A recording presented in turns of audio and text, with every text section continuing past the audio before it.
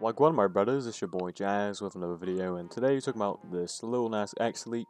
Roblox could possibly be doing an event with artist Lil Nas X, the guy who made Old Town Road and Panini, after recent leaks resurfaced on catalogue for some sort of concert event.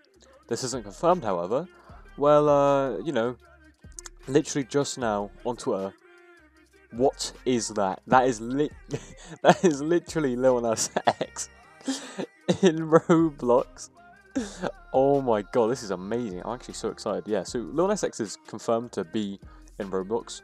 Now, if you don't know who Lil Nas X is, uh, he's some guy who sang a song. Uh, it was a good song actually. That's like Indian parodies and stuff. But the fact that Lil Nas X is coming to Roblox and there's going to be a Lil Nas X concert happening in Roblox, well, it's a pretty cool thing to happen. And uh, I'm gonna assume that Roblox servers are definitely gonna crash when this whole thing happens. Also, there's gonna be items coming along with it. And unlike the Ava Max event, I'm pretty sure this one will be highly praised. The Ava Max one was terrible, everyone hated it, and the fact that it's Lil Nas X, I've never heard of Ava Max before the whole event, so I think more people are going to tune into this event because it's Lil Nas X. And apart from that, if you're excited for this, please leave a comment below, and uh, apart from that, yeah, uh, goodbye.